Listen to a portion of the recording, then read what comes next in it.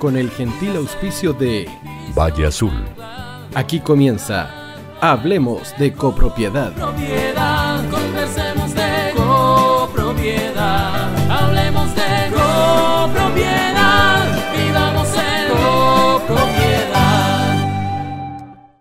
Hola, hola, ¿cómo están ustedes? Muy bienvenidos a un nuevo programa de Hablemos de Copropiedad. Como siempre, ustedes pueden ver, tenemos excelentes invitados para conversar de un tema que creo de que puede ser un gran ejemplo para nosotros también, no solamente en cuanto a la, a la forma de proceder, sino que también en cuanto al estímulo que nos pueden dar los consejos que nos van a dar nuestros invitados relacionados con el tema que vamos a conversar el día de hoy.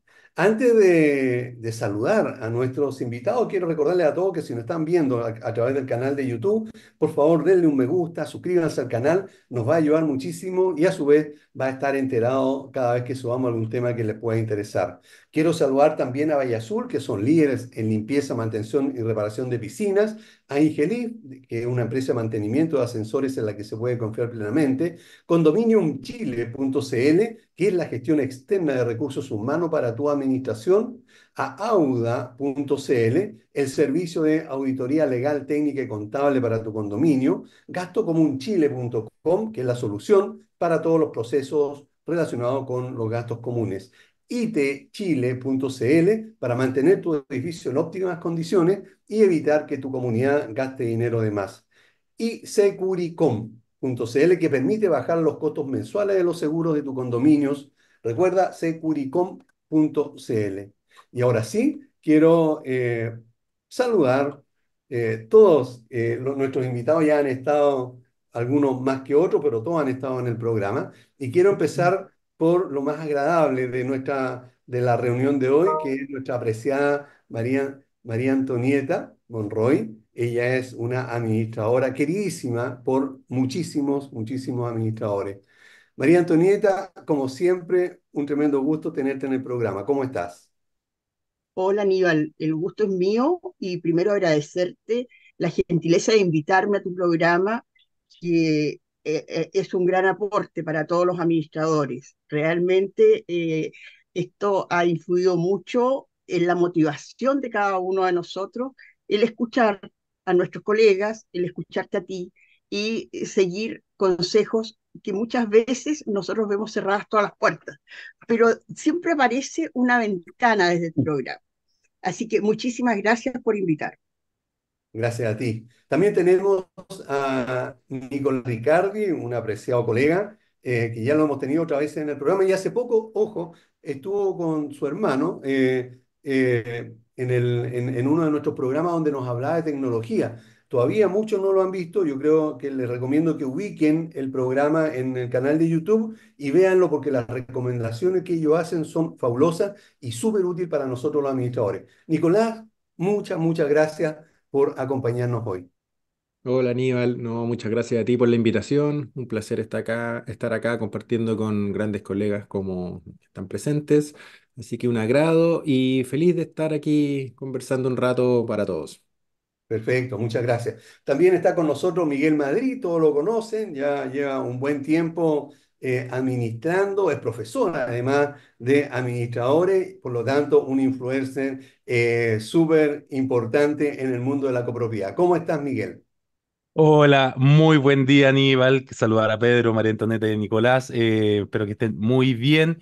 Claro, y agradecer efectivamente a esta invitación en un gran programa como el Hablemos de Copropiedad, como lo decía María Antonieta, que es un programa líder en, el tema. Eh, sin, sin, sin ir más lejos, yo mismo en, en, mi inicio escuchaba y veía mucho el Hablemos de Copropiedad, porque siempre va trayendo muchos datos, mucha información de valor para todos los colegas. Así que muchas gracias por la invitación. Para mí un placer estar nuevamente eh, contigo y con todos ustedes. Y saludar también, obviamente, a quienes no, no se están viendo ahora. Muchas gracias. Gracias a ti. Y también dejamos para el final, pero no por eso menos importante, a un apreciado amigo, antiquísimo administrador de copropiedades. Justamente estábamos hablando acerca de eso antes de empezar el programa. Eh, Pedro, ¿cómo estás? Gracias por estar nuevamente con nosotros. Hola Aníbal, ¿cómo estás? Buenos días. Muchas gracias por invitarnos. Eh, bueno, un gusto estar acá con Miguel, con Nicolás, qué sé yo, con, distintos enfoques de lo que es la gestión, pero especialmente con María Antonieta, que son liderazgos femeninos que creo que hay que valorar en el rubro.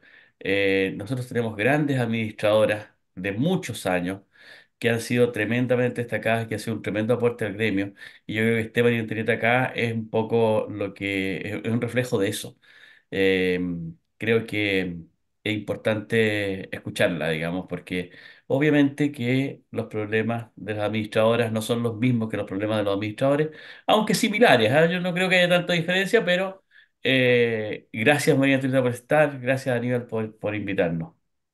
Bueno, eh, Empezamos hablando de- del antiquísimo mito, ¿verdad? Y quisiera preguntarte eh, directamente, Pedro, ¿cuánto tiempo llevas administrando? ¿Cuántas comunidades más o menos tienes tú?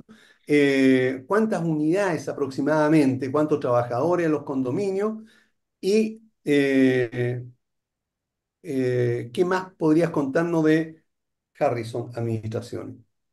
Bueno, mira, yo, al al igual que muchos, digamos, eh, trabajaba en el Banco de Chile, como comentábamos antes, y, y descubrí que no iba a tener pega cuando me echaran del banco, que nunca más nadie me iba a contratar, porque en el fondo eh, cambió el mercado. Por ahí, por los años 80 se produjo un cambio en el mercado muy importante, el mercado laboral me refiero. Bueno, y empecé a, a ver qué hacía. Primero partí como corredor de propiedades, por ahí por el año 83. Y, y el año mm, 95 decidí empezar a administrar comunidades como un complemento del corretaje de propiedades.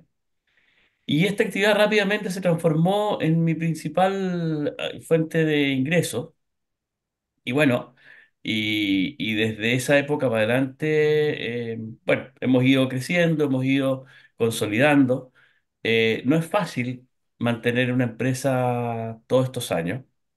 Eh, yo creo que eh, cuando uno, cuando uno piensa en el éxito, uno dice, bueno, uno debería crecer y, y yo en todos estos años debería tener mil comunidades.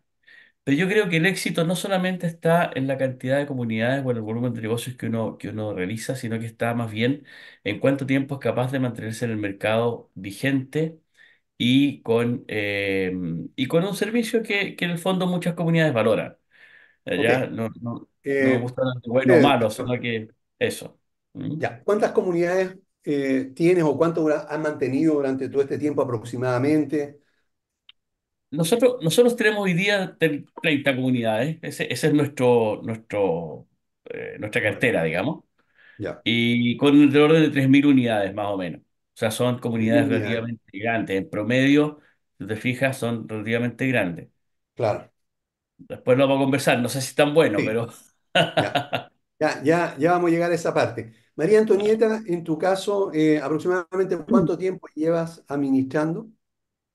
Yo eh, me inicié en la administración de edificios el, el año 89, ¿ya? Partí el año 89. Son muchísimos años.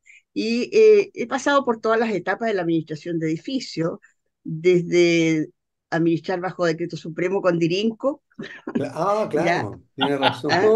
hasta, hasta, hasta empezar eh, ya con leyes eh, bastante más, eh, bastante más in- que involucran más el tema administrativo, ¿no? Como era administrar bajo e- e- ese, esa supervisión, era, era, era muy complicado. Pero eh, en realidad esto de la administración de edificios, eh, como bien eh, lo decías tú, eh, es un tema de cómo permanecer en el mercado, ¿ya? Permanecer en el mercado con un prestigio, que te conozcan por lo que haces y no por la cantidad de edificios que tienes, ¿ya? claro, Eh, la verdad que yo, el nicho que yo tengo son edificios pequeños, ¿ya? Eh, de pocos departamentos. ¿no? Eh, en la actualidad, eh, los edificios más grandes son de 40 departamentos, ¿ya? Ahora, la administración de, de, de muchos de ellos data de hace 30 años, ¿ya? claro. Entonces, eh, eh, es- ya prácticamente eh, forman parte de la empresa, esas comunidades, eh, son, son, han sido como el pilar de desarrollo.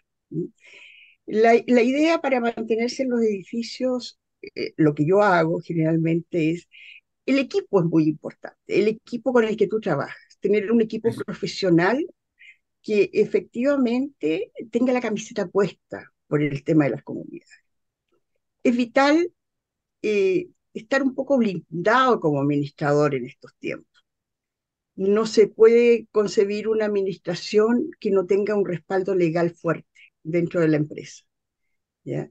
Tienes que tener eh, un estudio de abogado que sea parte de tu empresa, que sea eh, Claro. funcionarios de tu compañía.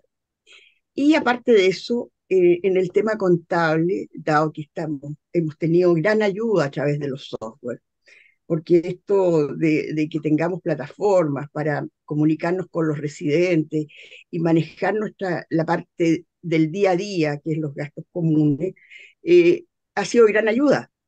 Pero también es muy importante eh, contar con gente especializada en el área contable, me refiero a auditores o ingenieros comerciales, que permitan estar constantemente encima del desarrollo de tu empresa y de cómo estás desarrollando los informes y programas hacia las comunidades. Eso es vital. Por lo tanto, el, el tema de- del equipo de trabajo es Es fundamental. Ya en, vamos, en vamos a entrar al, al- al tema del equipo de trabajo. Quisiera, gracias, eh, eh, María Antonieta. Nicolás, en el caso de ustedes como empresa, ¿cuánto tiempo llevan administrando? Eh, ¿tienen más o menos calculado cuántas unidades y cuántos trabajadores aproximadamente tienen que administrar ustedes? Sí, hola Aníbal. Mira, nosotros como SPM Administración, como empresa propiamente tal, lleva ya 17 años en el mercado, pasando de la boleta de honorarios que tenía Álvaro a facturar, hacer la empresa, marca y todo. Así que el total de la historia son 17, más profesionalizados los últimos años, obviamente. Comunidades, si bien como lo dicen, yo creo que, que- que el número, el N, no, no marca nada, sí, sino tiene que ver con, con el estilo de vida que uno quiera. O sea, si yo quiero dedicarme y tener tiempo libre, no tiene que ver con el número de unidades, sino con, con otras cosas. Bueno, claro. administramos hoy más de 40 comunidades, cerca de 40 y algo, 44. eh, son grandes y chicas, en total serán 3.200 y tantos departamentos o unidades propiamente tal Wow. con trabajadores que son cerca de 275 liquidaciones de sueldo que terminamos sacando y salas de caldera como 34. O sea, varios son con sala de caldera, algunos edificios tienen más de una. Esos son los números que igual a veces nosotros tema. también analizamos, de eso nos hacemos en la aguja Claro. de qué, qué llevamos. Perfecto, eso es súper importante tenerlo claro. Eh, Miguel, en tu caso, ¿cuánto tiempo? ¿Cuántas, cuántas unidades? ¿Cuántos trabajadores más o menos? Eh, bueno, Selcova, eh, desde los inicios, eh, nació aproximadamente del año 2019, o sea, somos los los más nuevitos en- acá en el mercado. Eh, dentro de los que estamos aquí en, en la reunión, quiero decir. Eh, cinco años aproximadamente, y al día de hoy tenemos eh, 17 contratos activos, y el próximo mes se activan tres más. Entonces ya vamos a estar con 20. Eh, eh, unidades. Activas tenemos 2.428 eh, cuando hablamos solamente de unidades principales, ¿verdad? Sin contar las subunidades como estacionamiento bodega. Claro. Y trabajadores, eh, 99 activos. 99, también un gran Sí. número. Sí, ok. Ahora, eh, para tener esta, esta cantidad de, de- de comunidades, 20, 30, 40, eh, recién María Antonieta hablaba del, del apoyo que debemos tener nosotros como administradores, o sea, de nuestra propia empresa. Eh, ¿cómo está estructurada, Pedro, tu, eh, tu empresa para atender eh, a estas comunidades?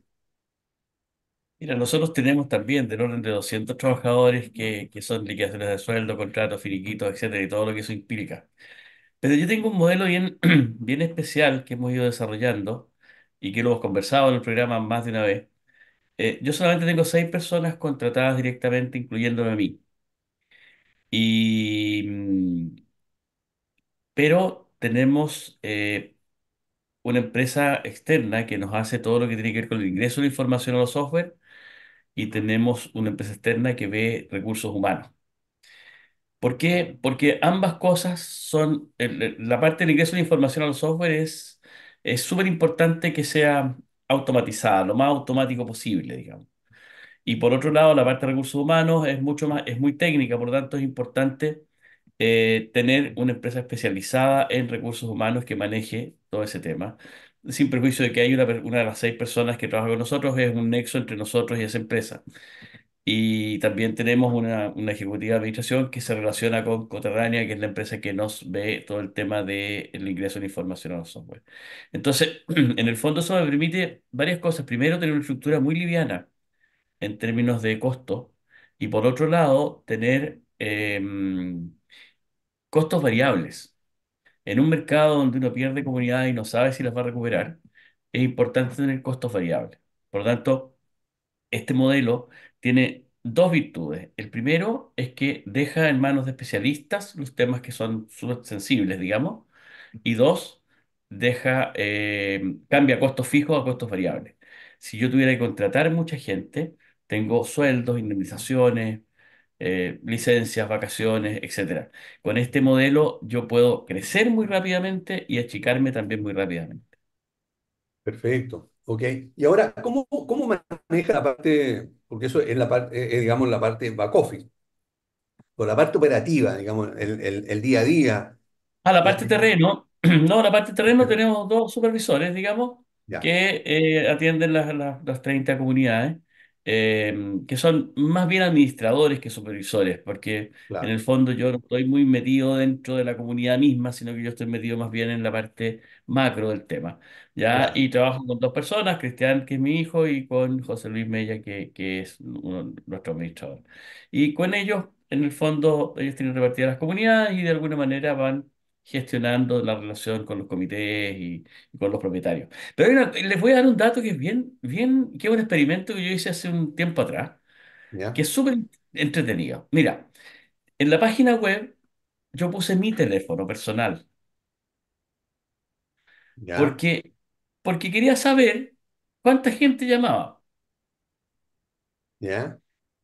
Y la buena noticia es que llaman poco. Ah, pero sí Ah, llaman a, a la gente de tu oficina, o sea, no te llaman a ti, pero, no, oiga, llaman a Harrison Administraciones, Harrison Gestiones Inmobiliarias. Y por lo tanto yo contesto y pregunto cuál es el problema. Y ah, el problema en general es que le ayude con un gasto común, o que, oiga, fíjese que hice el pago y no está registrado, o que, no sé, distintas cosas, típicos, típicos pagos no identificados que uno tiene en todos lados. Pero tengo muy poco nivel de reclamo de los propietarios, perfecto, lo que significa que la gente de terreno está haciendo la pega. claro, Porque si no, me llamarían todos. Piensa tú que yo tengo 3.000 unidades, o sea, en 3.000 unidades viven por lo menos, no sé, 5.000 personas. Y me llaman una vez cada 15 días. wow. Interesante ese dato, ah, porque antes Súper. era enfermante, digamos, eh, eh, Me llegan, me eh, llegan más currículums de conserjes que reclamos. Ah, ya, correcto, Ahora, no significa que no hay reclamos. Probablemente se los hacen a los administradores de terreno, digamos, probablemente.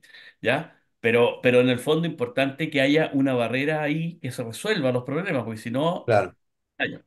Escalan, claro que sí. Sí. Ma- María Antonieta, eh, al comienzo estoy seguro de que tú empezaste sola a administrar, eh, pero ¿cuándo llegó el momento en que pensaste en que deberías tener ayuda? Eh, ¿cómo fue eh, esa, esa, esa decisión? Mira, eh, la verdad que yo no empecé sola a administrar. Ah, Eh, ah, ya, no, Eh, y yo inmediatamente, eh, cuando yo partí formando empresa, lo primero que hice fue formar la empresa, ya, ¿ya? Una sociedad de tres personas y con todos los colaboradores que, que se tenía en ese momento, una oficina. Es decir, se partió montando una infraestructura antes de, de salir al mercado y crecer. La verdad que esto partió porque yo tenía ya cinco administraciones como vistas antes para ah, crear la empresa, ¿ya? ya, Entonces, creé la empresa y se concretó y partí con cinco administraciones de edificios. Y abrí la oficina, la abrí en esa época en la calle Napoleón con Endaya, en, en el Golf, y se, se crecí rápidamente. Eh, realmente eh, fue asombroso el crecimiento, porque yo eh, al, al año tenía 30 comunidades. ¿ya? Igual es alto Y el, el- el- muy alto. el- Claro, y al segundo año, 40. ¿ya? correcto. Y ahí empezó el tema de detenerse y ver cómo se funcionaba con esto y cómo seguíamos adelante.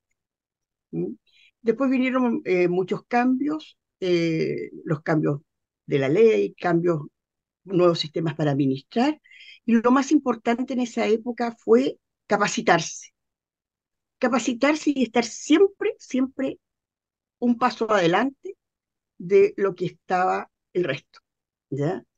Y eso dio eh, muy buenos resultados, porque eh, en la medida que tú conoces el terreno, conoces, eh, tienes los conocimientos para poder operar bien en una comunidad, te da una gran tranquilidad y es una tremenda fortaleza porque el desconocimiento de leyes, de, sistemas laborales, de un montón de, cosas, eh, esto te, eh, te lleva a tambalear rápidamente, a sentirte inseguro.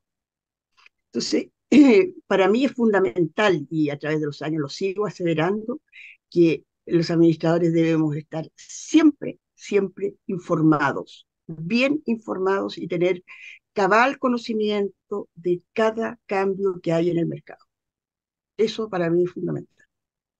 Ahora, eh, ¿cómo lo haces tú para repartir el, el- el trabajo? Hoy día, de todas maneras, alguien ve el back office, pero, pero ¿cómo lo hacen para la parte operativa del día a día, que es lo que se lleva una gran parte, digamos, de no solamente del trabajo, sino que la- de- del trabajo más pesado, que es el estar atendiendo a los copropietarios, a los comités?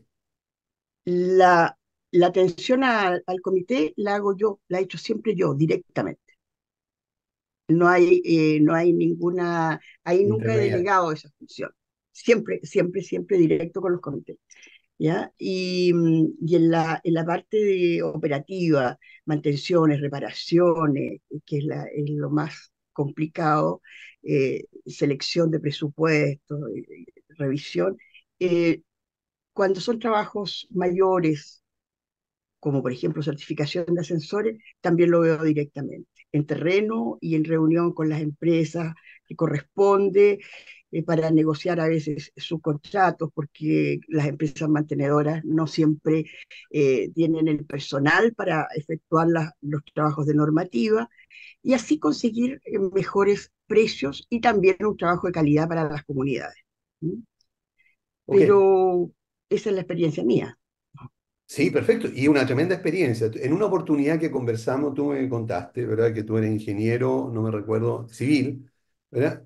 Sí, eh, y Sí, sí. entonces eso te da una tremenda ventaja en comparación a muchos de nosotros, ¿verdad? Incluso con mayor razón de mujeres administradoras, porque sí conocen los temas, digamos, operativos, mecánicos eh, de de cada edificio. línea, digamos, no, no, no te van con cuento, al contrario. Eh, en una oportunidad, yo me recuerdo eh, que me, me diste unos consejos eh, por una comunidad que, que, que, que tomé, digamos, y que tú la estabas dejando eh, sobre la parte técnica que me, que me ayudó muchísimo. Por lo tanto, eh, tienes esa tremenda ventaja, digamos, en comparación a muchos. ¿Cuánto te, te benefició eso?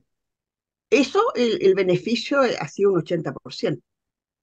Correcto, El claro. 80% ha sido eso el beneficio. La verdad que yo no postulo a las comunidades, nunca lo he hecho, de postular, de, de mandar currículum.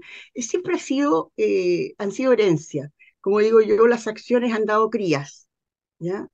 Ah, muy ya las comunidades, los hijos, los nietos, ya a estas alturas hay edificios que tengo que son, eh, porque el abuelo los recomendó porque yo le administré algún día el edificio donde él vivió.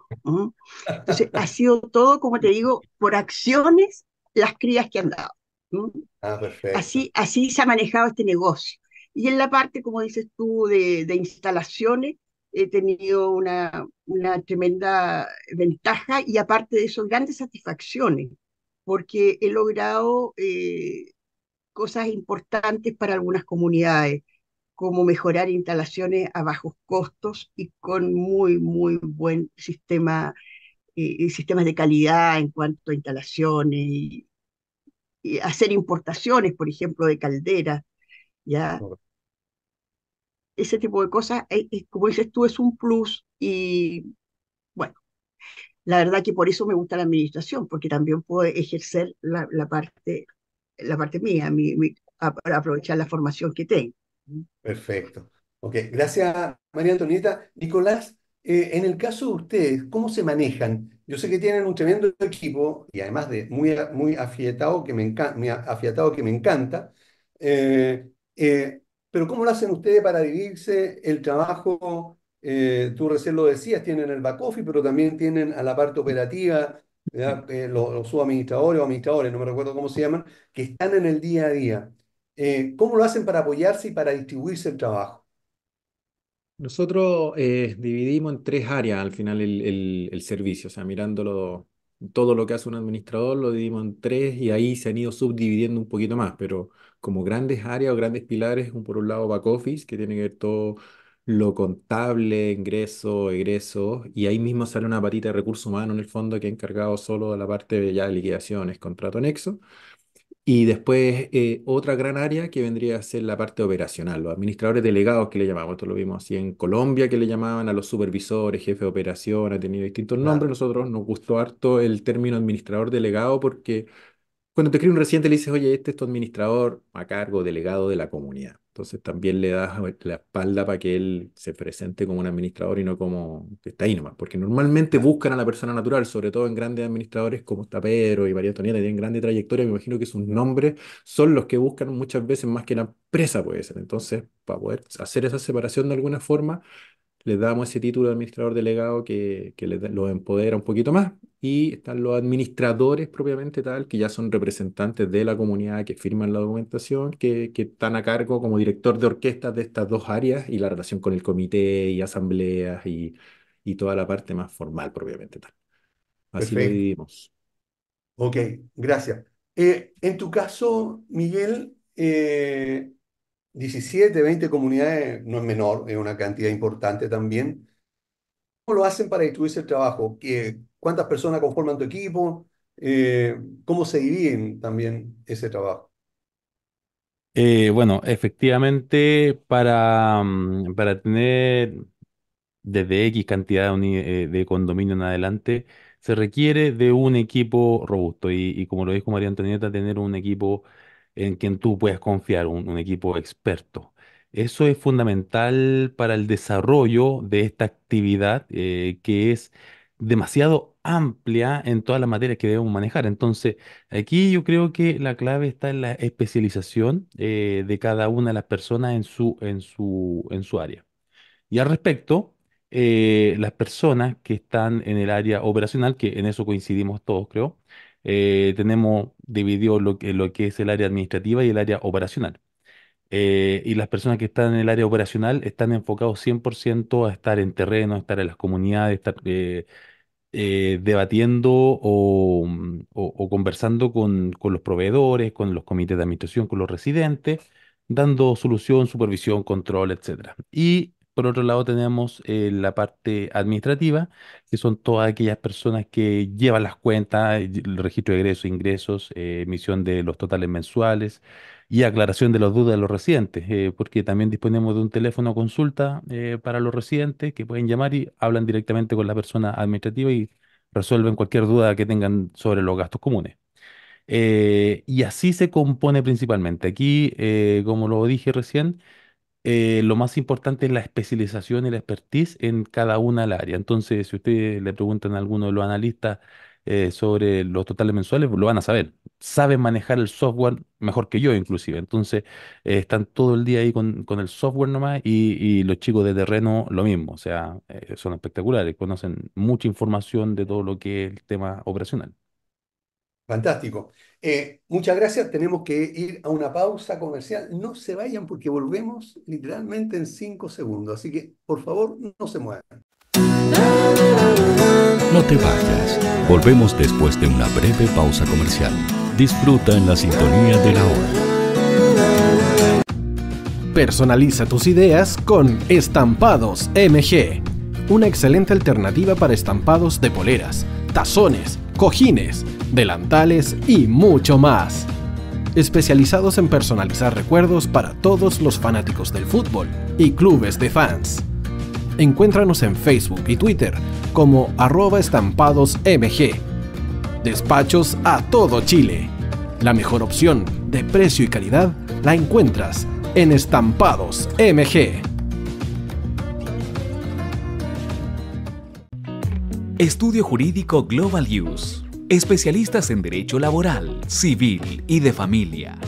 Contamos con una vasta experiencia en temas relacionados con el derecho del trabajo. Autodespidos, fuero maternal, despidos injustificados. En Global Use tenemos la solución. Que los problemas no te quiten el sueño. Protege a tu familia de los imponderables de la vida. Tenemos la solución concreta al precio justo. Para mayor información, escríbenos al correo contacto arroba globaluse.cl. Estudio Jurídico Global Use. Estamos al servicio de la gente. El tío hoy te está esperando para programar los mejores temas. Envíanos un WhatsApp al más 569 6355 0152. La música que tú programas suena en la hoy. Vota en las diferentes categorías de nuestro ranking. Tú eliges los temazos de la semana en la hoy.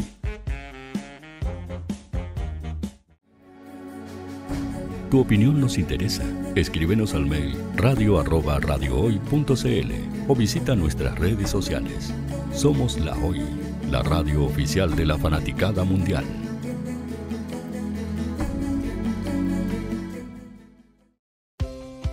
Tú, que nos escuchas todos los días, ¿sabes por qué somos la radio oficial de la fanaticada mundial?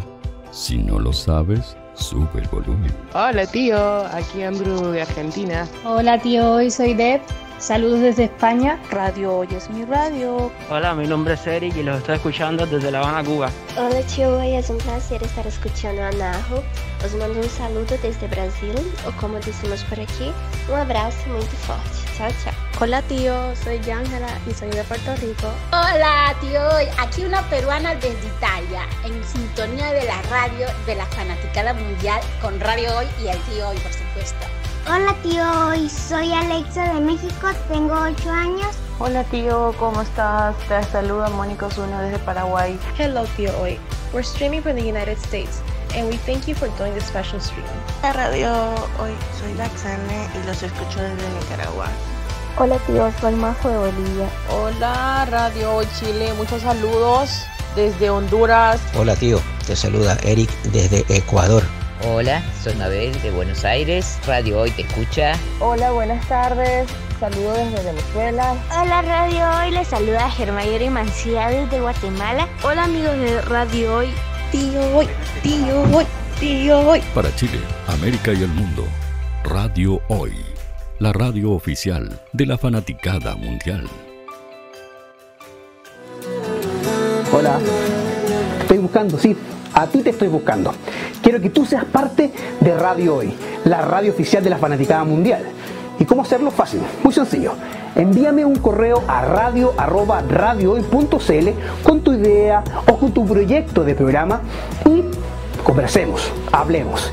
Porque aquí en Radio Hoy, la radio digital más importante de Chile, queremos que tú seas parte de esta inmensa familia de la fanaticada mundial. Recuerda, envíanos un correo y conversemos.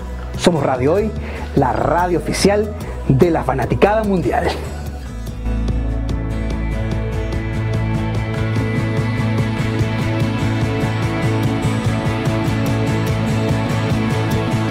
La radio oficial de la fanaticada mundial. ¿Quieres que tu marca llegue a miles de personas? ¿Buscas hacer crecer tu negocio? Envíanos un mail a radio@radiohoy.cl y sé parte de nuestra parrilla programática. Únete al equipo de auspiciadores de la Hoy. Radio Hoy es una empresa Hoy Comunicaciones. Visítanos en www.hoycomunicaciones.cl.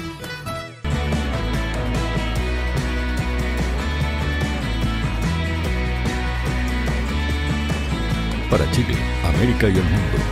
Radio Hoy, la radio oficial de la fanaticada mundial. Bueno, ya estamos de vuelta y estamos conversando con eh, nuestros apreciados colegas, todos muy experimentados con el tema de la copropiedad y nos han estado dando consejos que de verdad eh, se pueden ya valorizar muchísimo. Antes de continuar con ello, debo recordarles a todos que Valle Azul es una empresa líder en limpieza, mantención y reparación de piscinas. Deja en manos profesionales serios y responsables la mantención de, la piscina de tu condominio. Para mayor información puedes ingresar a valleazulpiscinas.cl o contactarlo al fono WhatsApp más 56 961 206 001. También te recomendamos que confíes en Ingelif para la mantención de los ascensores y transporte vertical en tu comunidad. Ingelip cuenta con la experiencia necesaria, un profesionalismo de primer nivel y está certificado por el MIMBU, lo que nos permite tener la tranquilidad y la seguridad de tus ascensores y están funcionando correctamente. Contáctalos al fono 225 010 752 y descubre la excelencia en la gestión de recursos humanos con condominiumchile.cl y alivia tu carga de trabajo como administrador. El equipo de expertos de recursos humanos de condominiumchile.cl se encarga de todas las necesidades laborales de los condominios que administran, desde la creación de contratos hasta los finiquitos, cumpliendo rigurosamente con las normativas vigentes. Confía en condominiumchile.cl para una gestión de recursos humanos impecable. Y si necesitas una auditoría para tu condominio, auda.cl es la empresa precisa. Auda.cl te ayudará a transparentar la gestión administrativa del condominio a través de una minuciosa auditoría contable y legal. El equipo de Auda.cl va a verificar que todas las actividades de la administración se adhieran a la ley y a las necesidades del condominio, finalizando la auditoría con un informe integral que va a brindar tranquilidad a los copropietarios, al comité y, por supuesto, a los administradores. Auda.cl. Gastocomunchile.com es un software que te permite una administración rápida y eficiente de todo el proceso relacionado con los gastos comunes y a su vez mantiene informado a todos los residentes y propietarios de las comunidades. En Gasto Común Chile tanto el comité de administración como los residentes y los propietarios tienen acceso a la información de la comunidad en todo momento de manera fácil y rápida. Recuerda, gastocomunchile.com, com, no se te olvide, gastocomunchile.com. Y tu edificio, eh, si tu edificio es nuevo, pero tiene muchas fallas y la inmobiliaria no responde, si tu edificio ya tiene varios años y el equipamiento empieza a fallar y no sabe si es por mala mantención o por alguna otra razón, la solución se llama IT Chile.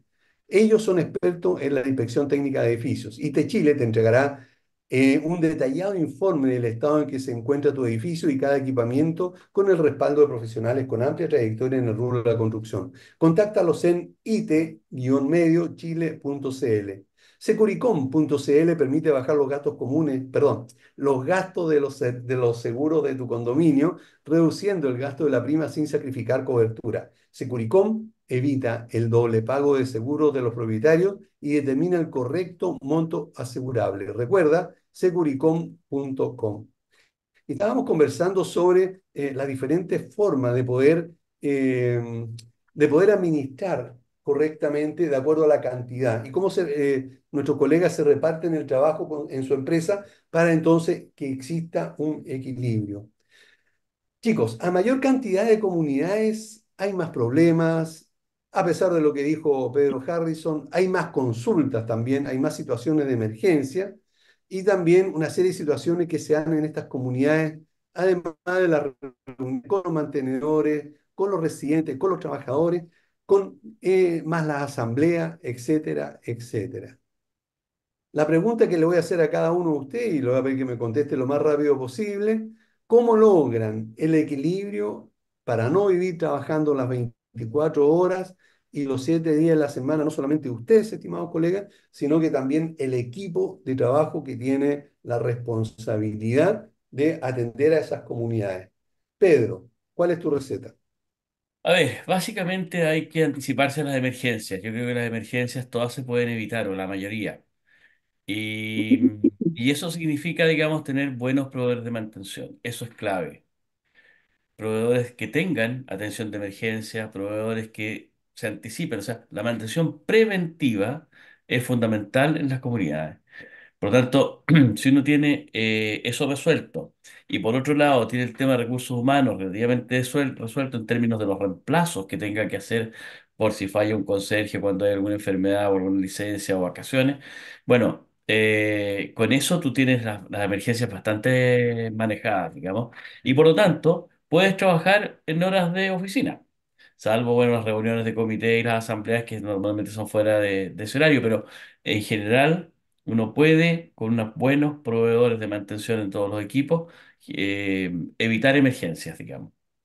Ya, Yo creo que pero es. si, si tiene- si tienes 30 comunidades aproximadamente, por lo menos una, una vez a la semana, incluyendo sábado y domingo, vas a tener una reunión. ¿Cómo Sí, lo haces claro. para, Sí, para- no, no, no sábado y domingo, ¿ah? No, no, en general tratamos de, de, de planificar las reuniones durante la semana.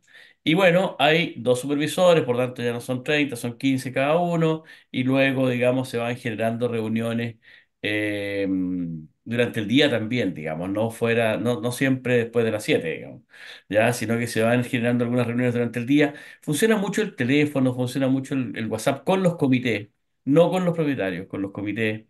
Eh, y, y ¿cómo se llama? Y eso hace que la comunicación sea bien fluida, ¿ya? Cada vez se usa menos el mail, fíjate.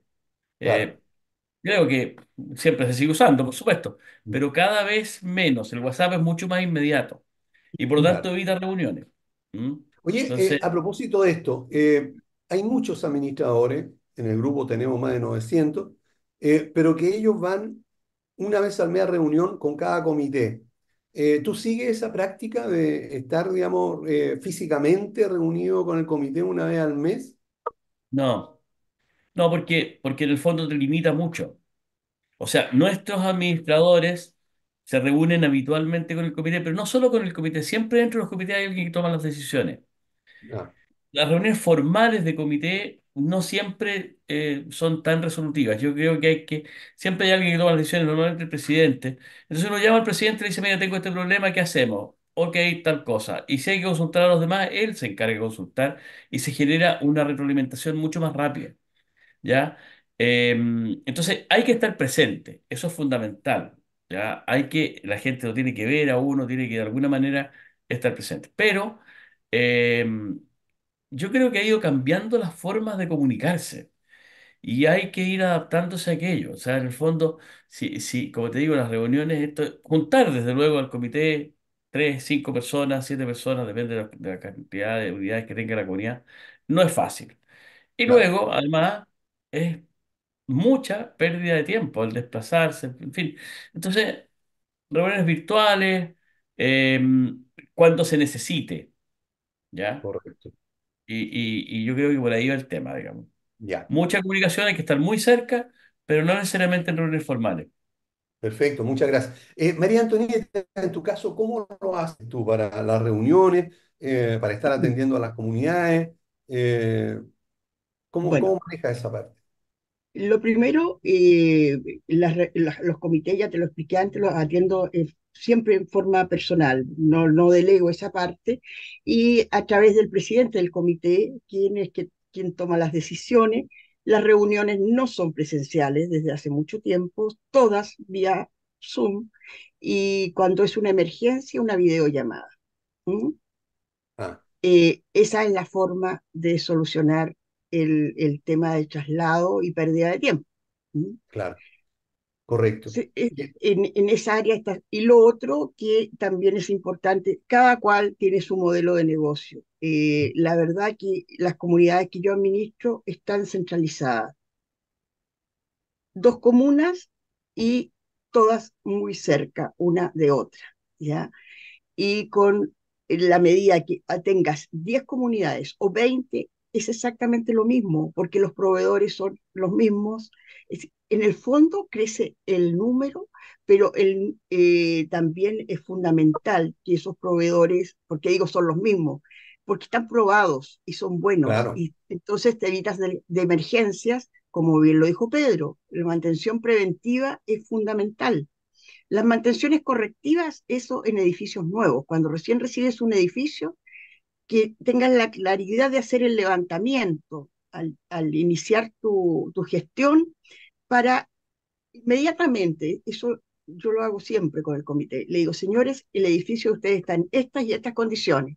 Aquí las prioridades son estas en la parte mejoramiento y conservación de, la, de, las, de las estructuras del edificio.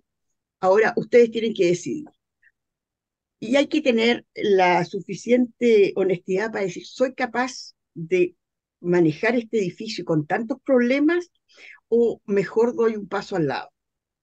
Eso también tenemos que tenerlo claro, porque si no, no vamos a tener tiempo ni para la familia, ni para eh, descansar, ni para compartir con los amigos. Y si, va a ser 24/7. Y eso claro. es imposible, imposible. Y con la tecnología que se ha desarrollado ahora y con todo lo que tenemos al alcance, creo que debemos aprovecharlo, pero lo primero es tener claro nuestro modelo de negocio. Es lo primero. Ok. Gracias, Nicolás. En el caso de ustedes, ¿cómo se organizan para, para, para atender a, a las comunidades? Y además, ¿Cómo lo hacen con las, reuniones de comité? Eh, claro, las reuniones es un tema más o menos complejo porque todos pueden fuera horario laboral, pero creo que igual es fundamental poner límites. O sea, en este rubro tienden a pensar que somos 24/7 para todo. La idea es decir, somos 24/7 para emergencia. O sea, vamos a estar siempre atentos, pero cuando quiera, alguien quiera, a las 8 de la noche, un sábado y domingo, yo nunca me he reunido con ningún comité, tampoco he tenido una asamblea, por ejemplo, porque lo dejo para mi vida personal y familiar. O sea, creo que eso es súper importante plantarlo en las primeras reuniones, decir, oye, nosotros somos una empresa igual que cualquier otra, que tiene un horario laboral, que va a estar atento a las emergencias porque el rubro lo requiere, pero poner el límite desde un inicio. Además de, de, lo que han comentado mis colegas, de tener buenos proveedores, una buena planificación, cosa de que no pillarse con muchas sorpresas y con eso se minimiza harto el tema de, de, que salgan urgencias. Lo único que quedan son las reuniones. Yo le digo a los comités, mira, no tengo ningún problema de dar disponibilidad si quieren una reunión mensual, si hay en horario laboral. Si no queréis que sea en horario laboral, no puedo porque si no, no me quedo sin vida. Entonces también ellos lo entienden desde que uno se los dice. Si, si le dice sí a todo, ellos no van a saber por qué no, en el fondo. Ellos están en su casa y para ellos es una pura reunión. Uno tiene que ser claro en, en, esa información y ojalá todos los colegas fueran así para que sea normal en nuestro rubro que, que oye, una excepción juntarnos fuera horario a menos que se requiera y ojalá ahí el modelo a cada uno. Para nosotros nos gusta mucho virtual porque nos evitamos tiempos de traslado, sobre, sobre todo administradores delegados que pueden vivir bastante lejos del edificio y salir de una reunión a las 9 de la noche. Muchos andan en moto de los nuestros para andar más rápido y ni una gracia ir a las 9 de la noche cruzar todo Santiago. Entonces Claro. también se los plantamos así a los comités, la verdad. Y, y lo entienden, y algunos no necesitan las reuniones, cosa de, de ir coordinando, pero dejando las cosas claras. Yo creo que eso es súper fundamental en, para que funcionen esos horarios. Perfecto. Gracias. Exigirlos en el fondo. Exigirlo, eso es muy importante, más que plantearlo, digamos, estas son Porque las uno los que plantea y, y al mes ya lo estaban pasando a llevar y decir, oye, Claro. recuerden que les dijimos que esto estamos fuera de horario laboral y mañana te respondo. Y muchos como, mira, te dejo pasado el WhatsApp. A diferencia de Pedro, yo dirijo todo hacia el mail. O sea, para mí cada vez es más mail, menos WhatsApp porque es mi teléfono personal y se me llena WhatsApp. O sea, a mí alguien me escribe algo, yo le digo, lo dejo para mañana y eso se me olvidó. Entonces le digo, Claro. ¿sabes qué? Escribe un mail. Si, si es para que dejar pasado el mensaje antes que se te olvide, mándame un mail, no un WhatsApp porque me estáis pasando la responsabilidad a mí en el fondo. Pues, déjamelo en mi mail. Y lo entienden y funciona. Perfecto. Gracias. Miguel, en tu caso, ¿cómo, cómo se organizan? Bueno, coincido 100% con mis colegas. El- la planificación previa, actuar de manera proactiva, buenos proveedores y el equipo es, es fundamental. Pero eh, si la pregunta está enfocada a cómo lo hago para no eh, perder, o sea, No estresarte, digamos, no, no estar no todo estresarme todo mi tiempo en reuniones, Claro, eh, fundamentalmente no estoy en todas las reuniones. Eh, sí me gusta ir a todas las asambleas, eso sí, pero eh, las reuniones de comité no. Y solamente participo cuando se me requiere, porque puede ser algún tema en particular o necesito una opinión de, de mi punto de vista y ahí participo, pero no a todas las reuniones de comité. De hecho, en la mayoría no estoy, pero cuando el administrador operativo me pide que, que participe, lo hago, ningún problema. Y siempre telemático, siempre, eh, porque como lo decía Nicolás, o sea, un tiempo de desplazamiento imposible. Correcto. Ok. Bueno, eh, también, porque para, para que todos podamos hablar y eh, puedan, puedan responder, y ya nos va quedando poco tiempo, eh, Pedro, ¿cómo lo haces para no perder comunidades y para conseguir más administración? Bueno, siempre, siempre es un desafío, digamos. A ver, nosotros hoy día estamos de de 30 comunidades porque en el fondo es, uno se va fijando eh, límites. En el fondo yo creo que alguien por ahí lo dijo. En el fondo partí con 10, 20, 30, 40, 50. Siem- Siempre uno tiene que tener una cantidad de comunidades acorde a la estructura que tiene. Ya, por tanto, eso es lo primero. Para mantener ese nivel, uno requiere estar permanentemente captando nuevas comunidades porque siempre se pierden comunidades. Yo, igual que María Antonieta, he tenido comunidades de 17 años, muchos años, y más también. Pero siempre en algún momento cambia un comité o llega gente nueva, siempre algo ocurre, o se cumplen ciclos, digamos, etapas, y bien. Y eso es parte del rubro. Por lo tanto, para mantener el nivel de comunidades que uno tiene, tiene necesariamente que captar permanentemente. Y eso es un desafío. El 97% de las comunidades llega por datos. Ya funcionan poco las técnicas tradicionales de venta. Ya obviamente que las redes sociales hacen mucho, digamos, y, y- y el marketing digital hoy día es, es una tremenda herramienta. Pero lo fundamental sigue siendo la recomendación. Y en la medida que te recomiende la persona adecuada, uno capta la comunidad. Si no, no la captas nunca. Yo diría que en general las decisiones son, son bastante centralizadas dentro de las comunidades. Hay una o dos personas que toman la decisión y convencen al resto. Entonces, yo creo que eso es fundamental. La recomendación, el boca a boca, es fundamental en este rubro. Y bueno, la retención tiene que ver con hacer bien la pega nomás, no, no hay más que eso. Pero no hay que tener miedo a perder comunidades porque eso es parte también del rubro. Son cosas que a veces uno hace muy bien y lo echan, a veces uno lo hace muy mal y no lo echan. Es Así verdad. que es parte, es parte del tema. Perfecto, gracias. María Antonieta, el secreto para mantenerte tanto tiempo en las comunidades y no perderlas, ¿cuál es? Eh, simplemente tener un buen equipo y no tener emergencias frecuentes, eso es todo, eso es todo. Realmente no hay una receta eh, definitiva para mantenerse en, en las comunidades, porque también eh, puedes eh, hacerlo muy bien, como dice Pedro, y, te van a decir hasta luego porque llegó un nuevo comité y que por recomendación le dijeron fulano de tal, mejor que administre tu edificio y se acabó. Por eso hay que estar siempre pre- preparado, ¿ya? Y también hay que, hay que analizar frecuentemente las comunidades, qué comunidades realmente vale la pena seguir administrando y cuáles no. Porque también muchas veces tienes que tomar tú la decisión de dejar comunidades, porque lo único que están haciendo es generarte problemas, estresarte y que te impiden desarrollar bien el trabajo en el resto de las comunidades. Entonces hay que evaluar eso y decir, señores, hasta aquí llego porque no, no, no, no nos no satisface los requerimientos de mi empresa, además. ¿ya? O sea que hay que ser súper claro en ese tema. Perfecto, gracias. Nicolás, en el caso de ustedes, ¿cómo lo hacen? Para no perder comunidades, ¿cuál es el secreto? ¿Verdad? Y para ir consiguiendo más. Ya, yo creo que está un poco también comentado. Para nosotros también el boca a boca es la principal fuente de, de recomendación. Siempre preguntamos cómo llegan, mira, me recomendó un amigo, alguien. Siempre boca a boca. Tampoco hacemos mucho marketing digital, pero sí creo que hay un tema que es súper importante, que es la mejora continua en el fondo. Está, y lo han tocado todos de, de diferente capacitándose o de la que forma que sea, pero siempre tratando de entregar algo mejor y ir dando un paso más. Eso ayuda a que el mercado también vaya mejorando porque te ven que hiciste algo, compartirlo con el resto. Mira, esto no funciona. Nosotros habitualmente nos juntamos con otros colegas a almorzar, a, a- a desahogarnos incluso de lo que nos pasa y, y gracias a las redes funciona mucho. Y, y, siempre se puede mejorar, siempre se puede hacer algo mejor, implementarlo. Por ejemplo, no sé, hoy vemos que es muy importante para la gente la comunicación, estar informado de lo que pasa, el administrador no dice, bueno, ya implementemos mandar comunicados todas las semanas con la gestión de la semana.